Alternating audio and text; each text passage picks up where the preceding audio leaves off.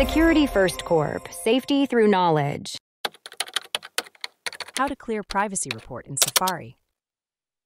Have you ever wondered how to get rid of that privacy report that keeps popping up in Safari? It's a feature that's meant to help you, but sometimes it can be more of a nuisance than a help. Let's dive into how you can clear or hide this report. First, let's understand what the privacy report is. It's part of Safari's Intelligent Tracking Protection, ITP, that blocks cross site tracking and shows you which trackers have been prevented from profiling you. It's a great feature for privacy, but if you're not interested in seeing it every time you open Safari, here's what you can do.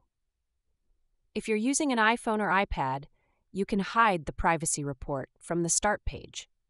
To do this, open Safari, tap on the Tabs button at the bottom right corner, then tap the plus button at the bottom left to open a new tab. Scroll down to the bottom of the Start page and tap on the Edit button. Here you'll find a toggle next to Privacy Report. Simply turn this toggle off. That's it. The report will no longer appear on your Start page.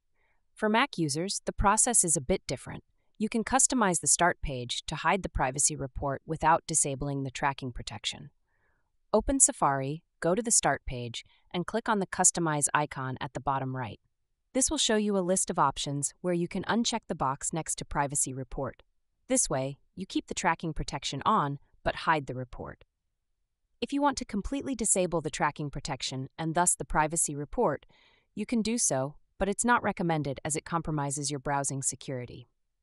On a Mac, go to Safari, Preferences, Privacy, and uncheck the box for Prevent Cross Site Tracking.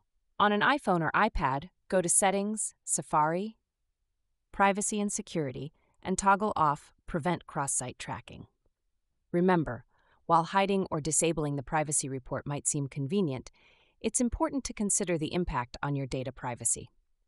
These features are in place to protect you from unwanted tracking, so it's generally a good idea to keep them enabled unless you have a specific reason to disable them.